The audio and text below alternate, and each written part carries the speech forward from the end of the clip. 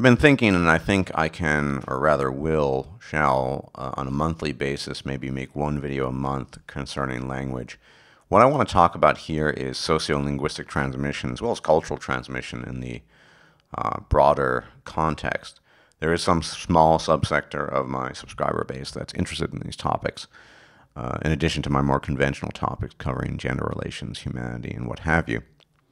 But what I want to talk about here is different mechanisms and modes um, by which sociolinguistic change, and not necessarily change per se, but sociolinguistic applications are uh, tra transmitted uh, within the modern context, and that there are actually two primary means, a trickle down and a sort of ripple effect, though not neither has been exclusive to any uh, juncture in history, though there have been primary means of linguistic transmission and sociolinguistic transmission and and lesser means.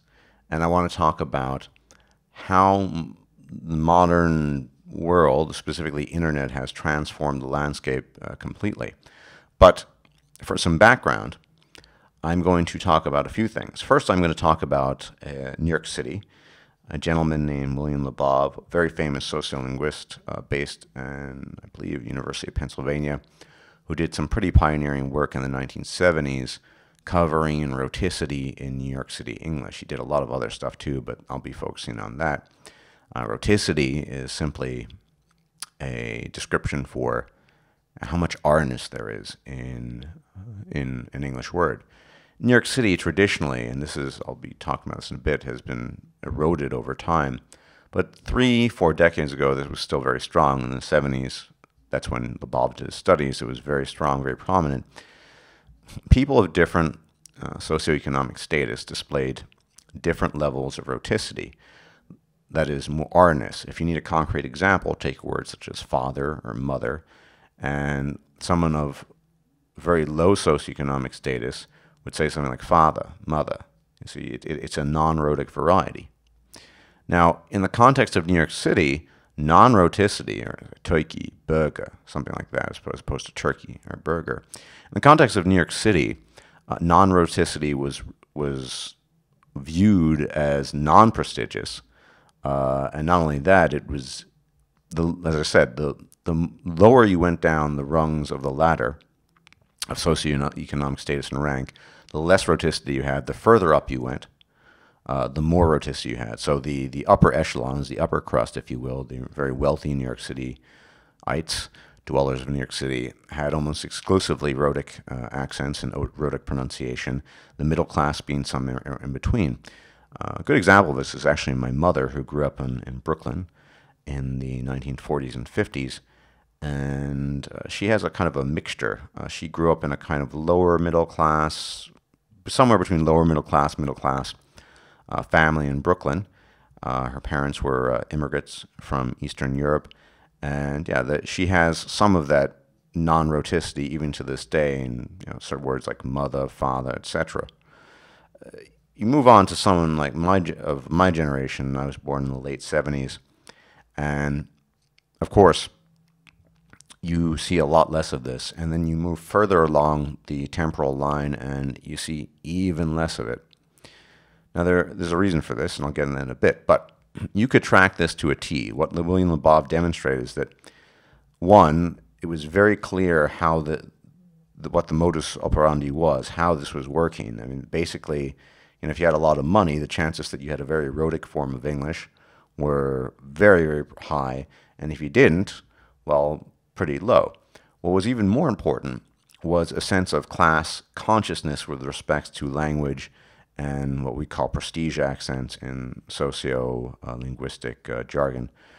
And the fact that people of middle class and, and even lower socioeconomic class were very cognizant and very conscious of the differences in their speech patterns uh, compared to the upper class, the upper middle class, and the upper classes. That is to say, when people were surveyed from the lower socioeconomic state, uh, statuses and classes and taken aside, say in the form of an interview or questionnaire, formally asked, they were very conscious of their differences, and so they would actively strive in an artificial manner to implement rhoticity in their speech, even though the likelihood that their English was going to be rhotic in a daily conversation with their neighbors was, well, slim to none. So there was a very conscious awareness of the differences. And furthermore, people of the lower rungs, they knew that if they're going to be in a formal situation to make themselves appear, uh, you know, for lack of a better uh, descriptor, more civilized in air quotes, than, or at least give off airs of a, of a higher status, they would at least attempt to imitate uh, rhoticity.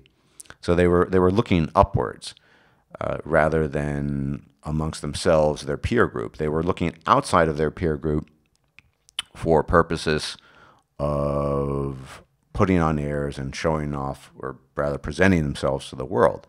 Because people back in the day, in the context of New York City and elsewhere, I'll talk about the UK in a bit, looked upwards towards the, the higher socioeconomic status people uh, for a sense of not necessarily inspiration, but a sense of, as an example, as an exemplar, you know, how, how are we to speak? These people on Madison Avenue, they all have very rhotic, uh, means of speaking. We should try to imitate that. That wasn't the norm, of course, in in normal in normal daily conversation. But when they were taken aside in an artificial environment, they consciously knew this, and of course subconsciously, then correspondingly made an effort to make their English more rhotic. New York City, being a very old city in the United States, was a perfect example of this. And the, as I said, the two most important things to take away from this is, or rather, are the very conscious awareness uh, of people of the middle and lower socioeconomic brackets had of the differences between their speech patterns and the upper class speech patterns, as well as the fact that you could basically just tie it to a T as to who, who belonged to which uh, socioeconomic bracket based basic so almost solely on the degree of their rhoticity. There were other features as well, but the most important one that, that bears relevance and, and is worthy of mentioning is the rhoticity. Now you see similar things or have seen similar things in the UK. Uh, the UK has always had a much more robust uh, radio tra- tradition vis-a-vis the, the BBC. And the BBC for decades was sort of a gold standard. I mean, people looked up to that as a means of uh, how how should I best speak in what situation. What's interesting about the UK is that it's much older than the United States is in terms of its socioeconomic, uh, rather sociolinguistic development, uh, for that matter, socioeconomic uh, development. And so it's had much more time to develop uh, regional varieties, very uh, disparate di- forms of dialects, as well as a robust, ro- very robust class system that exists uh, today, that exists to a much lesser extent in the United States. It exists, but not in the same sense that it exists in the UK. And once again, people look to the BBC and the people representing it, generally people of higher economic status, as a means of linguistic inspiration or as an example to follow. And of course, for centuries, over many centuries, London became the economic center of the world. And for that matter, Londonese English, at least the upper class varieties of it, uh, became a focal point and the, the way to go. Now, you might be asking, why am I mentioning all of that? Well, this is sociolinguistic transmission, and this is a form of transmission. Sociolinguistic transmission is also cultural transmission. And what we have here is effectively a trickle down effect from top to bottom. The people of higher economic rank and status traditionally, uh, but not exclusively, but primarily and traditionally, would serve as a kind of inspiration, willingly, consciously, or not, for people of lower economic status. And these people would then at least attempt to imitate them in various situations. Uh, it's still very common in the UK for people, excuse me, I'm a bit hoarse. It's still very common in the UK these days for people with very strong accents that deviate from norms or particularly receive pronunciation. It's becoming less and less so the case to try to receive training to get rid of their quote unquote accent.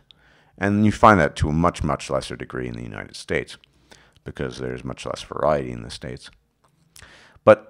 Traditionally, this had been the case. And this has just lessened and diminished over the years tremendously. As I said, as someone born in the late 1970s, uh, even my generation, we I didn't grow up with any. I mean, I heard, I heard it on the streets, but I never myself, I myself never spoke a form of non-rhotic English, even though I can imitate it quite well. Um, that's not true of my parents, and it's not true of uh, the generation before me. And things have been rapidly changing. And so the former model, which was a kind of trickle down, socio-economically based uh, form of linguistic cultural change or transmission, where you had the, the higher classes by default, uh, basically just serving as an example for other people to follow, because people had this conscious awareness of their class, their class system, even if this class system, an example in the United States, is not as implicit or obvious as it is in the UK follow the upper classes example. This has changed tremendously. We really have, I'd say, in the last two decades, experienced uh, just a, a earth-shakingly different uh, change in the way sociolinguistic and cultural transmission takes place. And if, in a way, it's a form of memetics. Because you, really, you no longer really have a trickle-down effect so much as a ripple effect. Coolness and to use the abstract uh, term that's so ill-defined, coolness is much is much a much greater factor than socioeconomic status uh, these days. People who set trends to follow aren't necessarily people who are of greater socioeconomic status, more, most specifically in the linguistic realm. We see this uh, very clearly, for example, in the use of quotative like and other uses of like in the United States. The use of like in virtually for a variety of reasons uh, to substitute for you know reporting that's quotative and she was like or to express doubt uh, and he was like at, at home at seven o'clock and things of that nature. Uh, this is not a, a, linguistic phenomenon that was transmitted uh, by some people of, of upper socioeconomic status. This was very organic. It came, allegedly, it came from California. Nobody knows the true origins. It's everywhere, and it's not just, it's everywhere in English across the world now, but it's everywhere in the United States and in Canada and North America. And it, it really just spread organically in a ripple effect. You can just imagine you know, throwing a stone or a pebble into a pond, and you can just imagine the ripples spreading uh, outwards. That wasn't, I mean, that traditionally didn't, tended not to be the case. Yes, you had those cases, but it, they, they remain largely confined to small communities. Within, specifically, they remain largely confined to communities within a smaller socioeconomic state, or of a particular socioeconomic, socioeconomic status, rather than everywhere. I mean, every Tom, Dick, and Harry in the United States, Canada, and, and most places in the English-speaking world these days uses some form of the word like for the various functions I've already cited in the past, quotative, doubt, etc. Uh, hedging your bets like, that's another one, which is pretty much the same thing as doubting like. This was not what we could have traditionally observed, say, in the 1970s and, and further back, because there's no sense of class awareness associated with the use of like as a sociolinguistic phenomenon. And of course, you know, now it's, it's actually a syntactic phenomenon. It's, it's part of the rules of modern English. It's a rule that doesn't apply to my English because I haven't, I wasn't exposed to it. And so I've lived outside of that environment. But for most English speakers these days, it's part of their syntax. And what do I mean by that? It's part of the core rules of grammar that apply um, to their language. But notice there's no sense of class awareness there whatsoever. Yes, it's still frowned upon in an official context, but uh, most people who are 45 or younger employ it routinely in, in, in almost every colloquial situation and perhaps in you know semi-formal situations as well.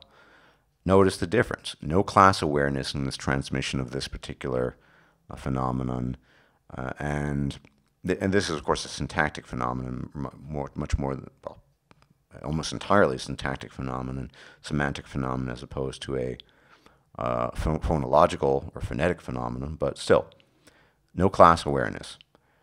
The interesting thing when it comes to British English, though, where it, where I would re- refer to something that is a phonological phenomenon called th fronting. Uh, you might have heard of Cockney, which is you know, so endemic to London. Cockney has several uh, features. One is a, ten, uh, a tendency to drop h's, that is, you know, from words. So instead of saying height, you would say height and things like that. Man Woman Myth has a slight Londony. It's not very strong. He has that a bit.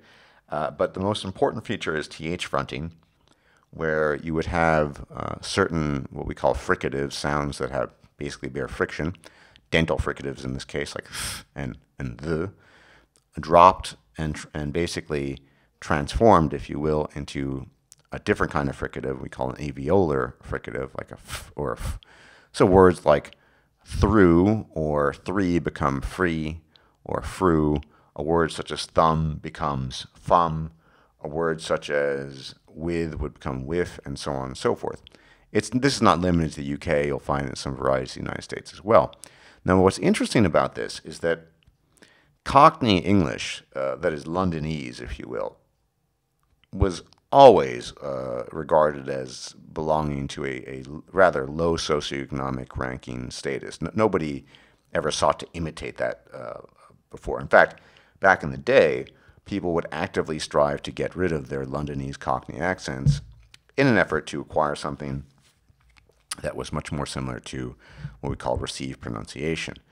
Uh, something that most Americans would imagine as being Queen's English, maybe, although it's not really quite that but basically a standard non-rhotic uh, British English that people can imagine. Um, Catherine Zeta-Jones, for example, would be a good example of having a, a, very standard RP accent, if you can remember the way she speaks.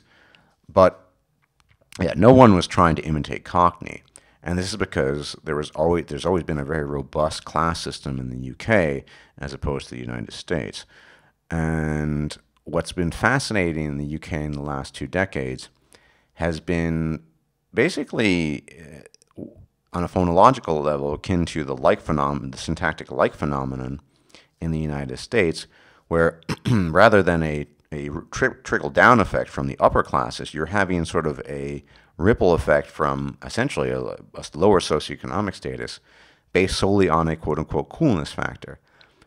So this the the the TH fronting uh, phenomenon, which was traditionally confined to London and areas near London, southeastern uh, England, has spread northwards as far as places in Manchester sometimes. That's, I mean, it's not extreme there, but you'll find it, and spreading throughout the country. And this is an amazing thing because it has nothing to do with class awareness so much as it has to do with trending and, and coolness awareness. So what I've been, so you'll find people, as I said, in the Midlands and the more northernly parts of the UK, engaging in what we call th fronting, things like whiff or fum, fru instead of through, and so on and so forth, because it's regarded as cool.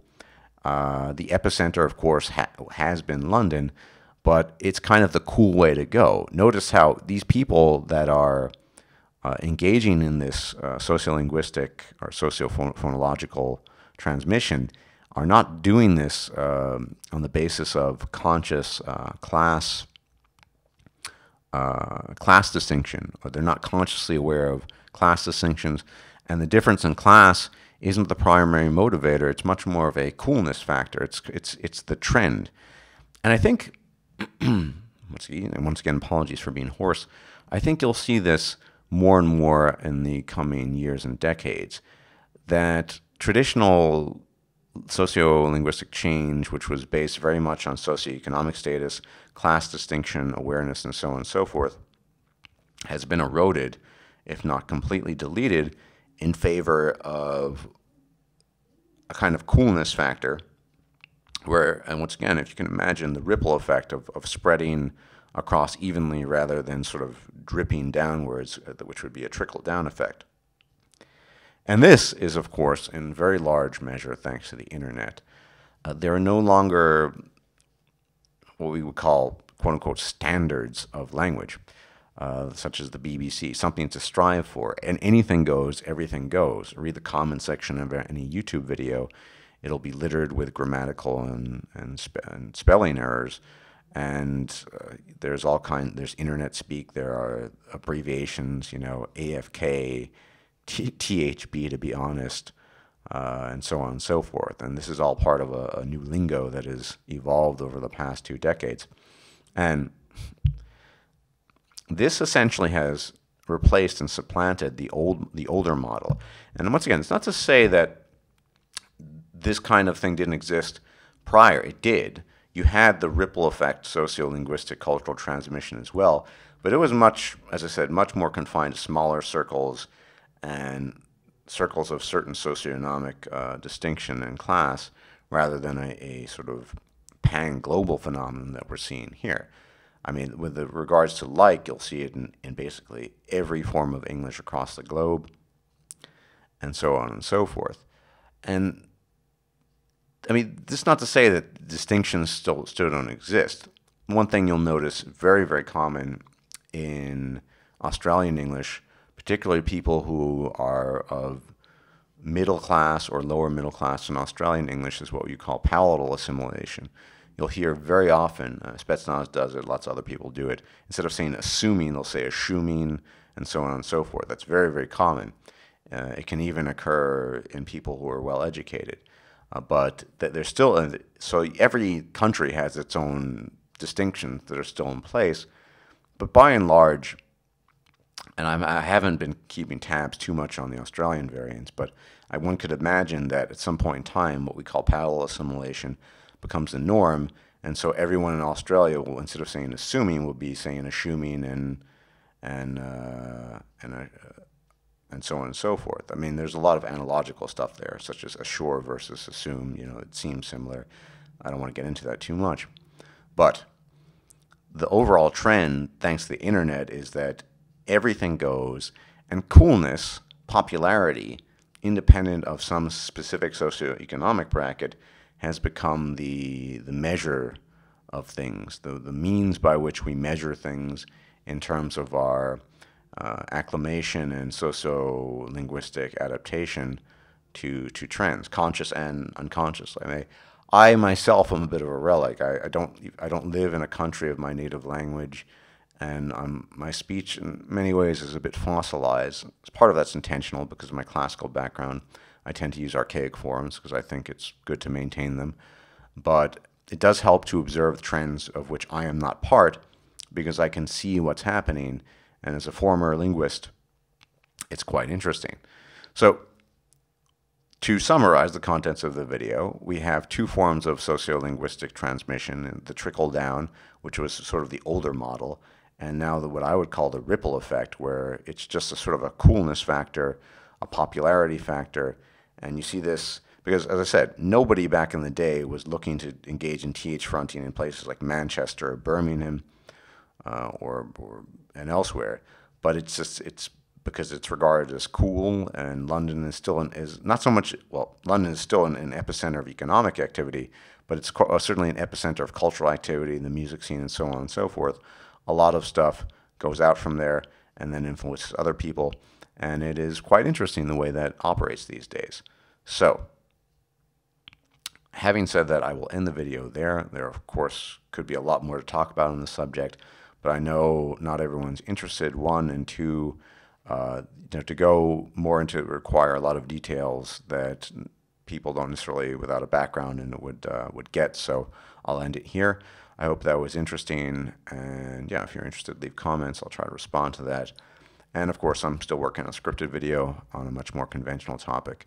So, you know, stay in your seats, stay uh, buckled, and uh, I will talk to you soon. Bye bye.